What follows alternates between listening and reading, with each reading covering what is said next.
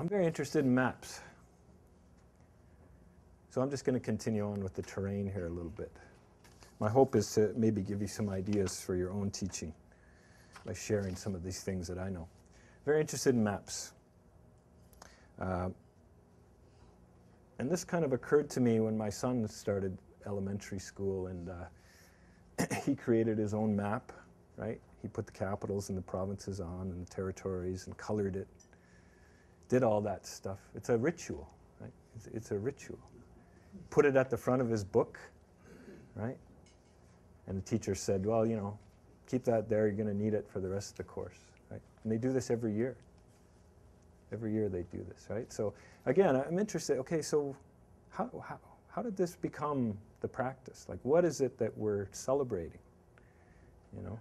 And I, you know, I would say that mapping is the first act of colonialism, right? Because what colonialism has to do is it has to remake the land in its own image, right? It has to take that significance that was once there and remove it and replace it with something else. That's why we have a place called Edmonton, which apparently there's a place in England called Edmonton, right? Which was the place where the chief factor was from, right? So it's this reinscribing, this renaming that's a key there, right? So I guess tonight, uh, to share with you, you know, this, this challenge then to say, okay, so how can we think about this differently? Not to, not to dismiss that political map and its significance. And that's not my intention to say that's worthless, because it's not.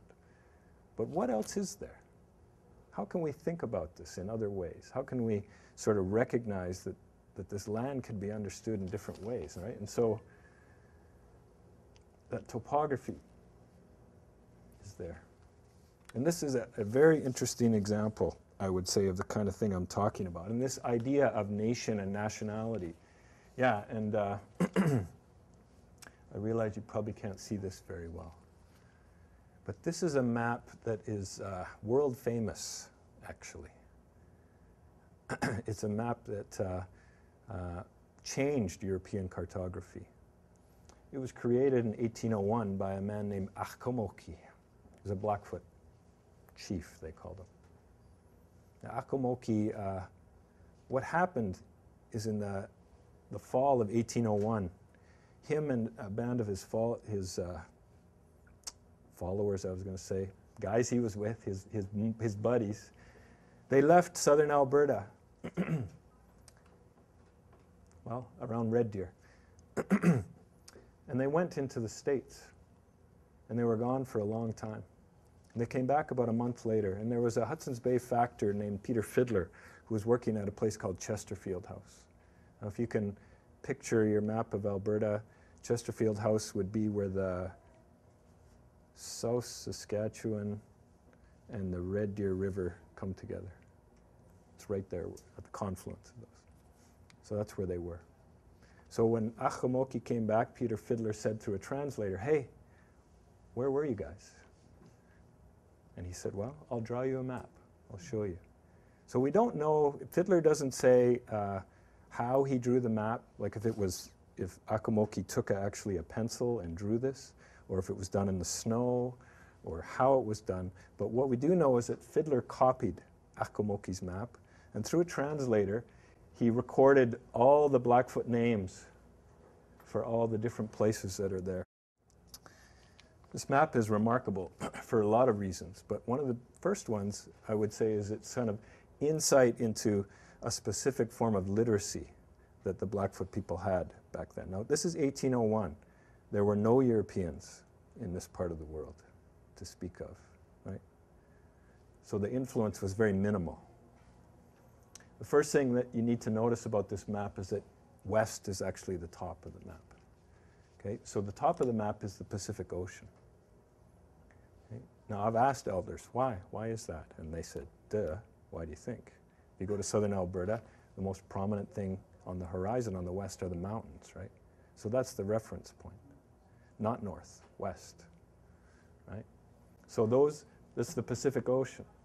This is the Columbia River, the Snake River. Okay? Now these two lines going down here, that, those are the Rocky Mountains. as you would see them from the prairies, right? So that's the line. This line here is the Missouri River. So here we have this, the 49th parallel hadn't been invented yet, right? So they don't really care about that. So this was Blackfoot territory, from about Red Deer down into central Montana. So the 49th parallel today would be about here on this map. Another thing that's interesting about this map, well, first of all, these, all these little circles here and everything, these are the camps that these guys noticed as they traveled the months they were gone. So in the translations, you'll see these are the flatheads, you know, this is where they are. Down here are the crows, you know, enemies or allies. There's notes here about resources. You know, you'll find wood here. The water's good over here. We saw some buffalo over here. So this is the Missouri River, and of course, these are all the tributaries of the Missouri River. So if you're traveling by land, this is something pretty critical that you need to know. they didn't Blackfoot never traveled by water. Another thing that's interesting is this is the Milk River Ridge here, and then this is Chesterfield House right here. It's very clear to me that they understood quite well that this was a different river system from this. Right? The Missouri goes to the Gulf of Mexico. This one goes to Hudson's Bay. And Akomoki showed that very clearly. Right?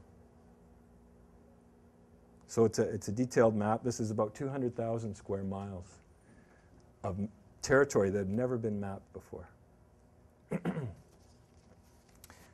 so Peter Fidler, being the good employee he was, he rolled it up, put it on a canoe, sent it to Hudson's Bay, went to London. There's a guy named Aaron Arrowsmith working for the Hudson's Bay Company in London. he took Akomoki's map and the notes that Fidler made, and he plugged this map into the sort of the jigsaw of North America that they had at that time. So this is a, a Arrowsmith using European cartographic conventions, translating Akomoki's map and plugging it in. So this is what he created, right? Uh, let's see. This is Slave Lake up here, so Edmonton would be around here. So this is the territory that Akomoki mapped right in this area. Now, the story gets a little more interesting because a guy named Thomas Jefferson heard about Aaron Arrowsmith's map and he bought it from the Hudson's Bay Company and he gave it to a couple of guys named Lewis and Clark. And he said, Take this map and go find out what we just bought from Napoleon, right? So that's what they did. It's interesting when you look at the notes of Lewis and Clark, as I've done, you'll see that they complain quite a bit about the map. It's not accurate, right? And, and it's often blamed on the Blackfoot, Akomoki, right? But one of the things they didn't realize was that, uh, you know, the conventions that the Blackfoot were using were a bit different, right? And Akomoki used the map, or created the map for Fidler because he thought he would want to travel down there where they had just been. So it had a practical kind of purpose to it. But the other thing is, is that the Aaron Arrowsmith assumed that the line of mountains on Akomoki's map was the continental divide, but it wasn't. It was just the prominent peaks that they would see.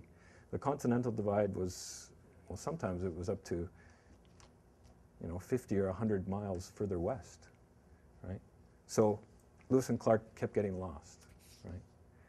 Especially when they got closer to the mountains. So, but that, that difference in translation is the problem. So I guess my interest here in telling you this story is, uh, you know, so what could this teach us today? You know, what, what, could this, uh, what could this map mean for us today? What kind of doors could it open? Well, I think, first of all, uh, we need to recognize that there's a, there's a specific form of literacy, as I said, a specific way that people understand the land that's different from the way we sort of conventionally been taught. And they have the ability to express it in different ways, right? And again, I'm not interested in, in one replacing the other. But what would happen if we kind of held those in tension for a while, right? What could be created out of that for our students, right, for ourselves, in terms of citizenship?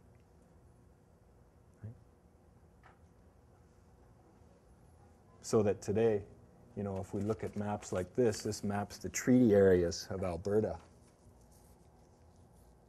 Treaty 8 in green, Treaty 6 in beige, Treaty 7 in blue.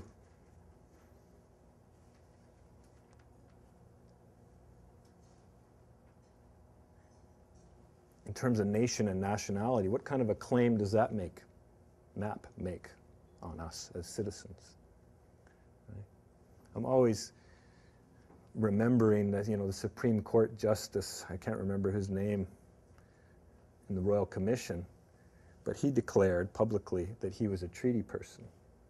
And he sort of went on to explain how his family were immigrants. He grew up in Saskatchewan, and he realized, explained that his family's prosperity was based on the fact that that land was available to them because of the treaty. He called himself a treaty person, which is a very strange thing to do, right? A lot of people didn't know how to interpret that.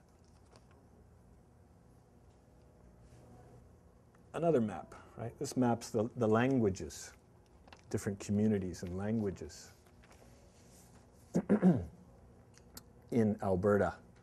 Blackfoot, Cree, Michif, Ojibwe, Nakota, Dene, different types of Dene language, Tsuut'ina. You know, and one thing I'm interested in as well is place names, where they come from. Medicine Hat, I guess, is a good example. Right? There's a story about why that place is called Medicine Hat. Ponoka, a lot of people don't realize that's a Blackfoot word. It means elk.